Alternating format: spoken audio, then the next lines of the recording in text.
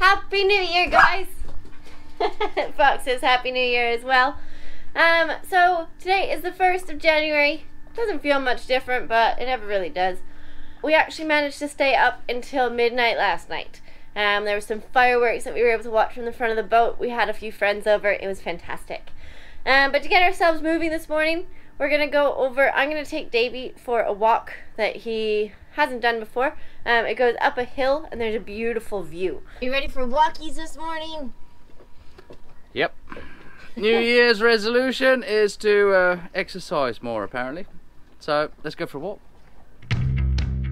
But it was a fun walk up the hill. I haven't been wearing shoes for months and months and months. That's uh, that's where we got the name barefoot from. And they felt really, really heavy, but there's so many thorns on this damn path. Erica thinks it's hilarious. Davey having to walk with a hangover. Anyway, Happy New Year, guys.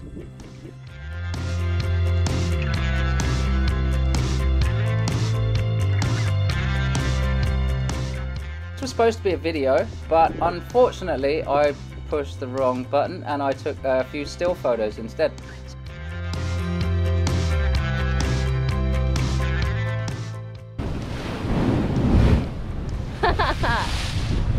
Big wave coming.